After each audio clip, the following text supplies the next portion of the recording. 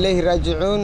Waxaan jecelahay marka hore inaan halkan tacsi uga diro guud ahaan shacbiga soomaaliyeed gaar ahaan qoysaskii eheladii iyo qaraabadii ay ka geeriyoodeen dadkii soomaaliyeed ee waxyeelladu ka soo gaartay.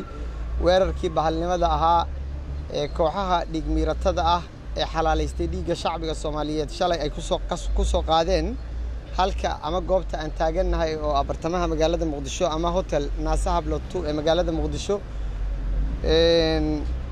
ma ahan sida aad la socotaan weerarkii ugu horreeyey ee kooxaha arxanlaawayaasha ah ay ku soo qaadaan dadka soomaaliyeed.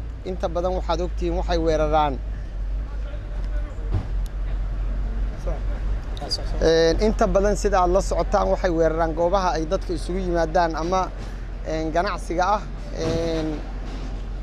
Waxa dhacay waa musiibo waxaan leeyahay mar kale inna lilaahi wa ilayhi raajicuun waxaan u malaynayaa weli shacbiga soomaaliyeed inay ka dheragsan yihiin ama dhegahoodu ay ay maqlayaan weerarkii arxandarrada ahaa ee laba toddobaad uun ka hor ka dhacay magaalada muqdisho ama halka loo yaqaanay isgoyska soobe ee magaalada muqdisho ee hadda loo bixiyey afar iyo tobankii bishii oktoobar labada kun toddobiyo tobanka oo ah maalintii madoobeyd oo in ka badan saddex boqol oo qof oo soomaali ah oo aan waxba geysan ay ku xasuuqeen arxanlaawayaasha aan sheegay ee al-shabaab weerarka halkan ka dhacay waxaa soo qaaday koox ka kooban shan.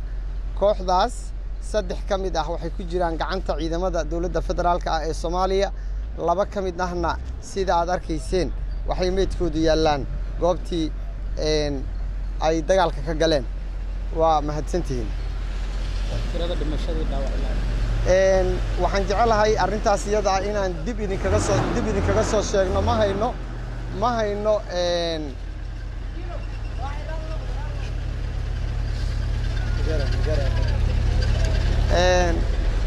cameradan kala kaaga aa ku aadantay. Ha isla meeshii le waa weli. Ma zakari ha ka camera kala ka ilow